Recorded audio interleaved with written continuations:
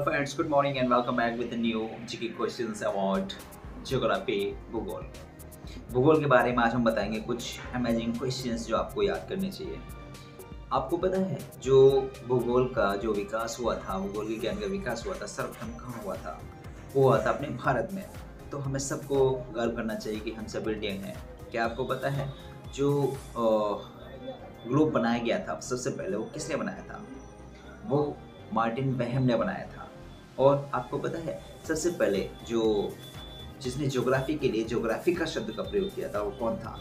वो था एरेटोस्थनीज और एरेटोस्थनीज को ही भूगोल का पिता बोलते हैं। आपको ये जानकर हैरानी होगी कि किसने ये बात कही थी कि भूगोल, भूतल के अध्ययन है।